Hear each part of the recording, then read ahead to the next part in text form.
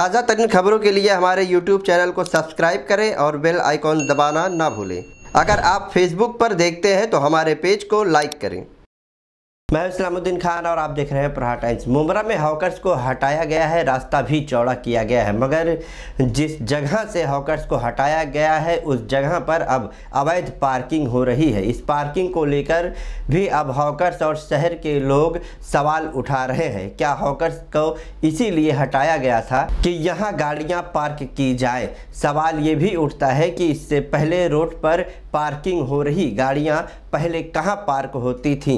Hawkers को हटाया गया रास्ता विस्तारीकरण के लिए और आज अब उसी रास्ते पर अवैध पार्क की जा रही हैं गाड़ियाँ। लोग इस अवैध पार्किंग को लेकर सवाल उठा रहे हैं।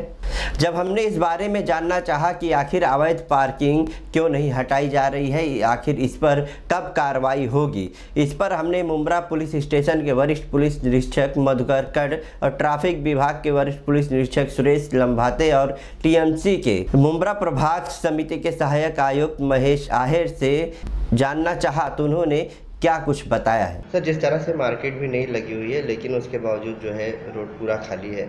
लोगों को तकलीफ़ नहीं हो रही है। क्या क्या कहेंगे इस पर इसमें ऐसा है कि हमने सिर्फ़ कौसा रेलवे स्टेशन से कौसा तक मार्केट कॉरपोरेशन के डिसीज़न के ऊपर नहीं लगाया गया है। लेकिन अंदर के हर रोड पे मार्केट लगी हुई है। लोग वहाँ बिल्कुल व्यवहार कर रहे हैं। वहाँ अंदर हमने कोई डिस्टर्बेंस नहीं किया है। मार्केट अंदर चालू है। और यहाँ के जो लोग हैं, लोगों की हमको बहुत अच्छी रिएक्शन और रिस्पांस भी मिल रहा है। जब ट्रैफ़िक खुली है तो लोग भी जल्दी घर पहुँच रहे हैं और हर एक जो रोज़ा उन्होंने पकड़ा है वो रोज़ा घर पे छोड़ रहे उनको भी बहुत तसल्ली हो रही है और उन, उसके बारे में बहुत पॉजिटिव रिस्पांस हम लोगों को लोगों से मिल रहा है। सर जो रोड के साइड में गाड़ियाँ पार्क की जा रही हैं तो इसको लेकर आपने क्या ट्रैफ़िक विभाग ने शिकायत की है? बराबर है कि पहले तो कॉरपोरेशन ने रोड पे हॉकर्स को नहीं बैठने दिया था और हम लोगों ने भी उनको साथ दिया था। इस बार रमज़ान महीने में रास्ता खाली रखने का जो प्लान बनाया था, उस हिसाब से कार्रवाई चालू है।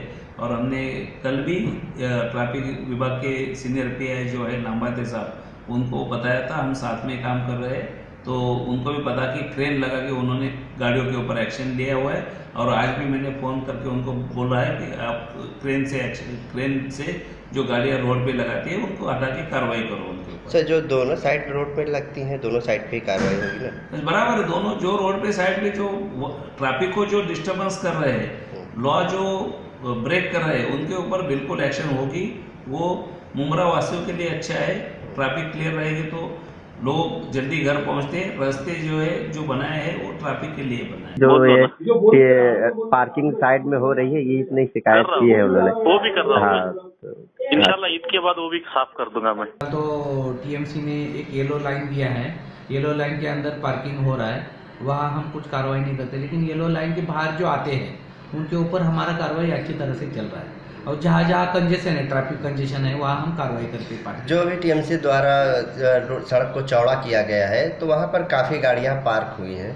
तो उसको क्या हटाया जाएगा या क्या नहीं बहुत जगह पे अभी काम पेंडिंग है काम चल रहा है बहुत जगह पे। हम्म। काम खत्म होने के बाद हम पार्किंग नो पार्किंग जोन बना रहे हैं। हम्म। उसका हम हमारा प्लान सब तैयार है हम्म। लेकिन काम पूरा होने में भी एक दो तीन महीना जाएँगे उसके बाद हमारा प्लान रेडी है वो हम फॉलो करेंगे। यानी जो गाड़ियाँ खड़ी है वो दो तीन महीने तक खड़ी रहेंगी जब तक काम पूरा नहीं होता था येलो येलो लाइन के अंदर जो खड़ी है वो हाँ। रहेगी लेकिन येलो लाइन के बाहर जो आएँगे उनके ऊपर हम अच्छा। कार्रवाई करेंगे और कंजेशन ट्रैफ़िक कंजेशन है वहाँ पे अगर पार्किंग होता है तो हम कार्रवाई करेंगे यानी साफ़ कहना है कि अभी टीएमसी का काम पूरा नहीं हुआ है करीब दो महीने में रोड की साइड पे खड़ी गाड़ियों को हटाया जाएगा इस मसले पर पुलिस टीएमसी से संपर्क कर बातचीत चल रही है। फ़िलहाल हमें जो जानकारी दी गई है कि दो महीने में ये अवैध पार्किंग गाड़ियाँ रोड के साइड से हटा ली जाएगी। अब देखने वाली बात यह है कि क्या वाकई में अवैध पार्किंग हटाई जाएगी या फिर इसी तरह से रोड के साइड में अवैध तरह की पार्किंग लगी रहेगी। तमाम खबरों को जानने के लिए देखते रहिए प्रहार टाइम्स।